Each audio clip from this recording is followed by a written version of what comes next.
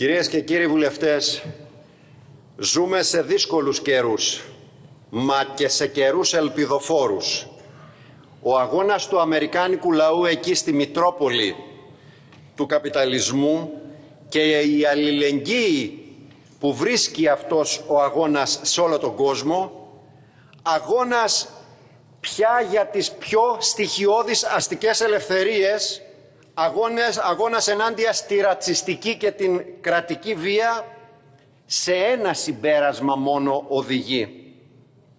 Όποιος και αν είναι ο διαχειριστής του, καπιταλισμός θα πει φτώχεια, θα πει κοινωνικές ανισότητες, θα πει ρατσισμός, θα πει αγρία καταστολή, θα πει πόλεμος. Καπιταλισμός θα πει δεν μπορώ να αναπνεύσω. Αυτό είναι το συμπέρασμα των τελευταίων ημερών και όχι μόνο. Ξεκινώ από τον τίτλο του νομοσχεδίου. Πέρα για πέρα ψευδεπίγραφος. Αναβάθμιση του σχολείου λέει. Μια ζωή, τα νομοσχέδια για την παιδεία, για αναβάθμιση μιλάνε. Στην πράξη όμως κάνουν τα αντίθετα για την παιδεία του λαού μας. Χαντακώνουν τις μορφωτικές ανάγκες των νέων της λαϊκής πλειοψηφίας, ξεπαραδιάζουν τους γονείς τους και ροκανίζουν τα δικαιώματα των εκπαιδευτικών, αφήνοντάς τους αβοήθητους στο δύσκολο έργο τους. Η εξήγηση είναι πάρα πολύ απλή. Όσο, περισσότερα, όσο περισσότερο με τέτοια νομοσχέδια το σχολείο προσαρμόζεται για να υπηρετήσει τις ανάγκες ενός συστήματος που όλο και περισσότερο πια εκβαρβαρίζεται και αντιδραστικοποιείται, τόσο η ανάγκη και το όνειρο των λαϊκών οικογενειών να μορφώσουν τα παιδιά τους θα υπονομεύεται και το έργο των εκπαιδευτικών θα υποβαθμίζεται.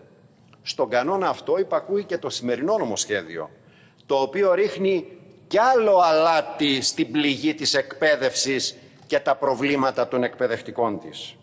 Βλέπετε οι διατάξεις του έχουν γερά αντιδραστικά θεμέλια. Το νομοσχέδιο τούτο της Νέας Δημοκρατίας πατάει γερά πάνω στα τρία βασικά νομοθετήματα που ψήφισε ο ΣΥΡΙΖΑ και οδήγησαν την εκπαίδευση ακόμα πιο μακριά από τις λαϊκές ανάγκες.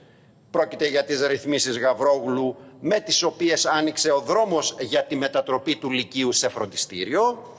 Πρόκειται για το νόμο 4589 του 19 και το νέο σύστημα προσλήψεων ένα πραγματικό σφαγείο των δικαιωμάτων δεκάδων χιλιάδων αναπληρωτών εκπαιδευτικών και για το νόμο 4547 του 18 για τη λεγόμενη αξιολόγηση η οποία πλασάρεται από όλες τις κυβερνήσεις και ως υπανάκια για όλα τα στραβά της εκπαίδευσης. Οι νόμοι αυτοί του ΣΥΡΙΖΑ διατηρούνται από τη Νέα Δημοκρατία και φυσικά λειτουργούν κανονικότατα. Συνεπώς, είναι δεδομένη η συνέχεια της αντιεκπαιδευτικής πολιτικής και σταθερή η κατεύθυνση των αντιδραστικών αλλαγών από τον υπηαγωγείο μέχρι το πανεπιστήμιο, άσχετα με τις όποιες αλλαγές γίνονται στο τιμόνι της κυβερνητικής εξουσίας. Οι διατάξεις αυτού του νομοσχεδίου, οι κυριότερες του, το επιβεβαιώνουν. Είναι γνωστή πια, κυρίες και κύριοι, στην ελληνική οικογένεια εδώ και χρόνια η ρηχότητα, η αντιεπιστημονικότητα, η αποσπασματικότητα, το μπέρδεμα, η ταλαιπωρία που προκαλούν σε μαθητές και εκπαιδευτικούς τα σχολικά βιβλία από το δημοτικό ως το λύκειο. Όταν παραδείγματος χάρη στην έκτη δημοτικού τα βιβλία της καλλιεργούν την ελληνική γλώσσα μέσα από κείμενα με τις οδηγίες χρήσης μιας καφετιέρας παρακαλώ ή ενός κλιματιστικού και στα μαθηματικά εμβαθύνουν στα κλάσματα με τη βοήθεια των εικόνων μιας πίτσας στα πρότυπα προφανώς της υγιεινής διατροφής και όταν τα παιδιά εξασκούνται στον πολλαπλασιασμό ακούστε υπολογίζοντας πόσα εκατομμύρια δολάρια κερδίζει ο Bill Gates σε ένα λεπτό, σε μια ώρα, σε μια μέρα, σε ένα μήνα και σε ένα χρόνο ή όταν οι μαθητές πληροφορούνται τον πληθυσμό της γης από το δελτίο της CIA και όχι του ΟΗΕ ας πούμε, όταν η αμάθεια και η γλωσσική φτώχεια εξαπλώνονται όλο και περισσότερο στη νεολαία, όταν με λίγα λόγια είναι κατεπίγουσα πια η ανάγκη για αλλαγές άμεσες στα αναλυτικά προγράμματα και τα βιβλία, η κυβέρνηση τούτη της Νέας Δημοκρατίας, όπως και οι προηγούμενες, κινούνται, κινείται και αυτή αντίστροφα.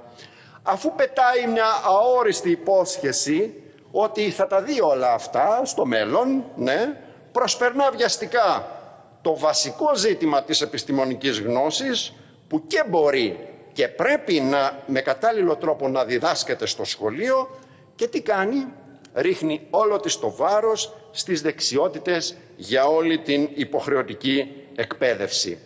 Και μια και το έφερε κουβέντα. Η κριτική σκέψη δεν είναι μια απλή δεξιότητα σαν όλες τις άλλες. Η κριτική σκέψη, κυρία Υπουργέ, ανήκει στις ανώτερες λειτουργίες της νόησης και η καλλιέργειά της είναι πάρα πολύ σύνθετη.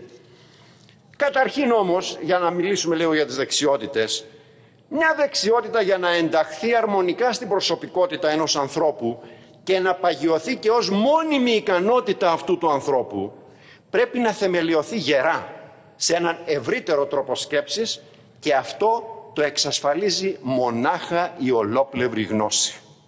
Γιατί η δεξιότητα, ξέρετε, είναι κατά βάση μια διαδικασία επιφανειακή και απαντά μόνο στο πώς γίνεται κάτι. Δεν απαντά όμως και στο γιατί γίνεται. Το γιατί γίνεται απαντιέται μόνο μέσα από τη γνώση την επιστημονική, δηλαδή μέσα από τη συγκρότηση ενός λογικού τρόπου σκέψης, μέσα από τη γνώση της σχέσης αιτίας αποτελέσματος και όλα αυτά φυσικά μπορούν να δοθούν στα παιδιά με διαβαθμίσεις ανάλογα με την ηλικία τους. Το βλέπουμε σήμερα στους μαθητές διδάσκονται τόσα πολλά. Πόσα όμως αφομοιώνουν μέσα στον ωκεανό των πληροφοριών όπου βρίσκονται, μόνο η γνώση αποτελεί το εφόδιο γι' αυτό. Αλλιώς κάθε δεξιότητα με τον καιρό χάνεται και σβήνει. Δεν υποτιμούμε όλες τις δεξιότητες συλλήβδιν του νομοσχεδίου, αρκετές από τις οποίες είναι και κοινωνικά χρήσιμες. Θα γίνουν όμως αυτές κτήμα όλων των παιδιών με τους ίδιους όρους. Για τη ρομποτική, το STEM και τις νέες τεχνολογίες είναι γνωστό ότι απαιτούνται υποδομές και εξοπλισμός και όλα αυτά κοστίζουν πολύ και η πείρα, με συγχωρείτε, από τα λάπτοπ της πανδημίας είναι πάρα πολύ πικρή. Υπάρχει όμως και μια άλλη ακόμα πλευρά στο ζήτημα. Το περιεχόμενο αυτών των δεξιοτήτων η αναγκαία ας πούμε σεξουαλική διαπαιδαγώγηση θα βολοδέρνει ανάμεσα στο συντηρητικό σκοταδισμό που σηκώνει και πάλι κεφάλι και στην όπως όπως επιφανειακή κυβερνητική προσέγγιση ή θα χάνεται στα αδιέξοδα των αντιδραστικών κατά βάθος θεωριών περί κατασκευής της ταυτότητας του κοινωνικού φύλου. Εμείς το ΚΚΕ λέμε ότι αυτή η αναγκαία πράγματι σεξουαλική διαπαιδαγώγηση οφείλει να έχει επιστημονική θεμελίωση και περιεχόμενο. Να γιατί όλο αυτό το διδακτικό πακέτο των δεξιοτήτων, το περιεχόμενό του, οφείλει να είναι κεντρική ευθύνη και μέρημνα του κράτους και όχι των διαφόρων πολυπροβεβλημένων ιδρυμάτων των μεγαλοκαπιταλιστών ή διαφόρων ΜΚΟ. Όσο για, τις, όσο για τη δεξιότητα της νεανικής επιχειρηματικότητας, στην οποία επιμένουν όλες, μα όλες οι κυβερνήσεις με την ενθάρρυνση του συνδέσμου των Ελλήνων βιομηχάνων, γιατί επιμένουν άραγε; Όχι βέβαια για το πώς θα γίνουν τα παιδιά των λαϊκών οικογενειών οι μεγάλοι celebrity επιχειρηματίες, αλλά για να μαθαίνουν από την τρυφερή τους ακόμα ηλικία πώς να βάζουν όταν μεγαλώσουν για δικά τους συμφέροντα τα συμφέροντα της επιχείρησης και του εργοδότη τους. Μπορούμε όμως να μιλάμε στα παιδιά για την επιχειρηματικότητα χωρίς να τους λέμε το πιο βασικό. Χωρίς να τους λέμε δηλαδή την αλήθεια την πιο μεγάλη για το πώς και από ποιους παράγονται όλα αυτά τα αγαθά και όλος αυτός ο πλούτος της κοινωνίας μας.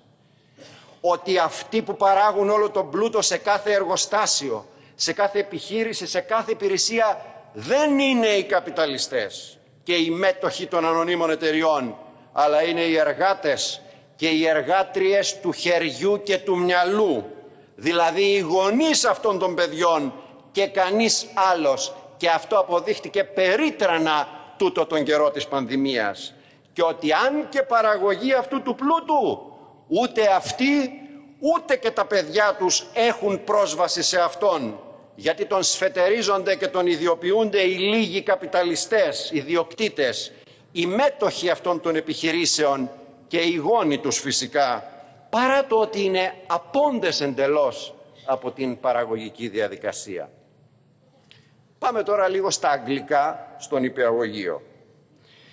Η κυρία Υπουργός απαντώντας στην κριτική του ΚΚΕ για την άκερη εισαγωγή των Αγγλικών στον υπηαγωγείο είπε ότι τα νήπια είναι πραγματικά σφουγγάρια και άρα μπορούν να διδαχθούν και μια ξένη γλώσσα στον νηπιαγωγείο. Σοβαρά. Τότε γιατί δεν βάζετε στον νηπιαγωγείο και την προπαίδεια; Γιατί δεν βάζετε και τις προσωπικές αντωνυμίες. Γιατί δεν βάζετε τους χρόνους των οριμάτων. Έτσι εννοείτε τις δεξιότητες στον νηπιαγωγείο. Σαν ένα σκέτο μιμητισμό και μια παπαγαλία. Το θέμα ξέρετε όμως δεν είναι απλώς τι είναι ικανά να μάθουν τα παιδιά που όντως απομνημονεύουν πάρα πολύ εύκολα και γρήγορα. Το θέμα είναι τι θέλουμε να μάθουν τα παιδιά στον υπηαγωγείο. Με λίγα λόγια, ποιες είναι οι προτεραιότητες σύμφωνα με την επιστήμη στην προσχολική αγωγή; Και αυτές οι προτεραιότητες είναι και πρέπει να είναι η θεμέλη η λύθη της αγωγής το πιο κρίσιμο σε αυτήν την ηλικία του νηπιαγωγείου είναι να καλλιεργηθούν στα παιδιά η λογική στάση απέναντι στον κόσμο για να μην γίνονται έρμεα αργότερα διαφόρων τυχοδιοκτών. Είναι να καλλιεργηθεί στα παιδιά μια μεθοδολογία σκέψης. Είναι να διαπαιδαγωγηθούν τα παιδιά να αποκτήσουν εκείνη τη δυνατότητα κατανόησης των πιο απλών σχέσεων που υπάρχουν γύρω τους στο φυσικό και το κοινωνικό τους περιβάλλον. Να μεγαλώσουν δηλαδή μέσα σε ένα λογικό πλαίσιο. Και όλα αυτά, ξέρετε, με άγουσα δραστηριότητα, δεν το λέμε εμείς. Οι επιστήμονες το λένε. Με άγουσα, κυρίαρχη και αποκλειστική δραστηριότητα των παιδιών του νηπιαγωγείου, το παιχνίδι και μόνο το παιχνίδι. Εξού και η απόλυτη διάκριση ανάμεσα στο νηπιαγωγείο και στο, στο δημοτικό σχολείο. Και τέλος πάντων, αν αισθάνεστε τόσο πολύ μεγάλη και ακατανίκητη επιθυμία να ενισχύσετε τα αγγλικά, ρε παιδί μου, στο σχολείο και στην εκπαίδευση, μπορείτε να το κάνετε. Έχετε καλό τρόπο, κυρία Υπουργέ.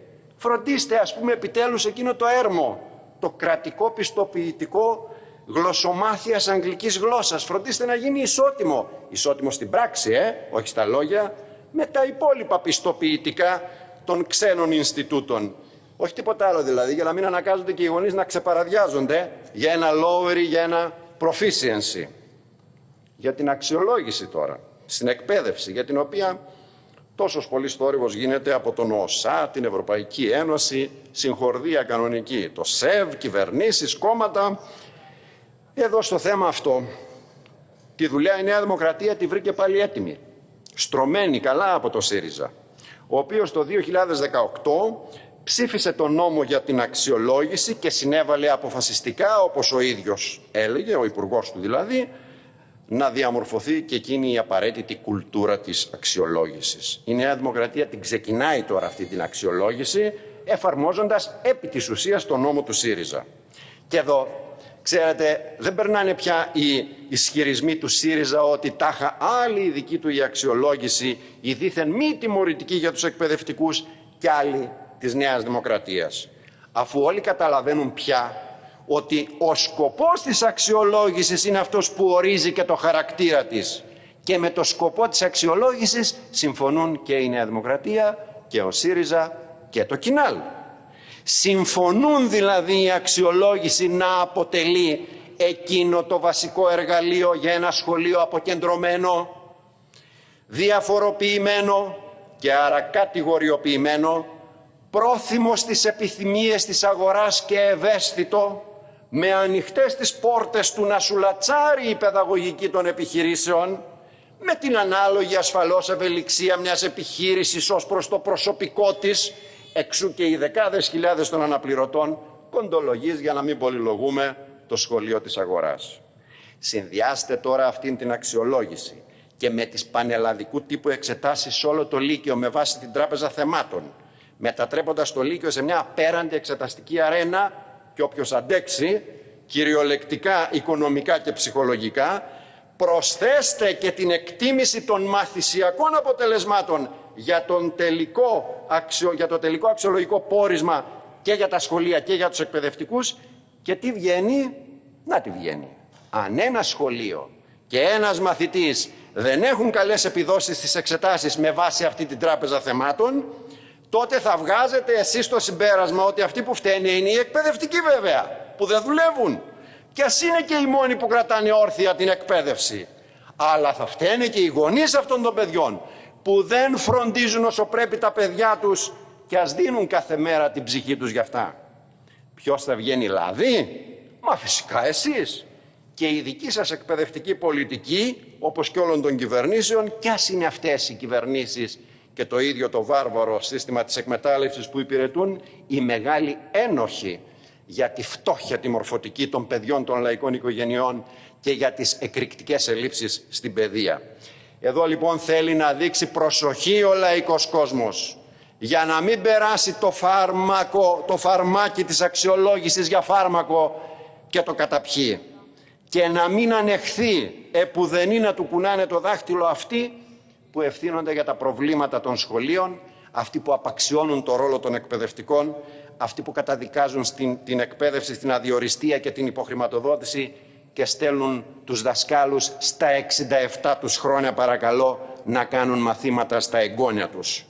Ούτε να αφήσει αυτός ο κόσμος να περάσει έτσι απαράδεκτη μέσα στην πανδημία αύξηση του επιτρεπόμενου αριθμού μαθητών ένα τμήμα. Ναι, την ώρα που φωνάζουμε για το συνοστισμό αυξάνουμε έστω και κατά λίγο έχει τη σημασία και αυτό τον αριθμό των μαθητών ένα τμήμα.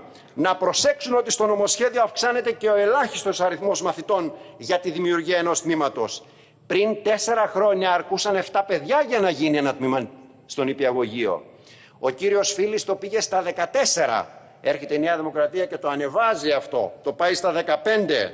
Να σκεφτεί αυτός ο κόσμος ότι θα υπάρχουν νήπια που θα περισσεύουν από τον νηπιαγωγείο της γειτονιάς τους και θα τα υποχρεώνουν να πάνε αλλού, πολύ πιο μακριά από το σπίτι τους, ταλαιπωρώντας και τα νήπια και τους γονείς τους. Το μεγαλύτερο στίβαγμα βέβαια των μαθητών σημαίνει και λιγότερες προσλήψεις. Μην ξεχνιόμαστε και αυτός είναι ο λόγος της διάταξης. Εκπαιδευτικούς δεκάδες χιλιάδες που όχι μόνο όλες οι κυβερνήσεις τους κρατάνε σε εργασιακή ομοιρία και διαρκή περιπλάνηση, αλλά εκεί που τους χρωστάνε για τη μεγάλη τους προσφορά παντού σε όλη τη χώρα, τώρα τους παίρνουν και το βόδι. Ανοιχτά τους απειλούν με τιμωρίες αποκλεισμού από την εργασία παρακαλώ για δύο και τρία χρόνια. Αν κάποιος από αυτούς για λόγους οικογενειακούς ή για λόγους οικογενειακής κατάστασης ή για λόγους οικονομικούς βρεθεί σε αδυναμία να πάει εκεί όπου τον στέλνει το Υπουργείο. Και εδώ βέβαια δεν περνά απαρατήρητη ότι αυτή η προκαταβολική ομολογία στην ουσία πρόκειται για θεσμοθέτηση ε, των εκπαιδευτικών κενών και τις προτεραιότητες λέει στην κάλυψή τους από το Υπουργείο.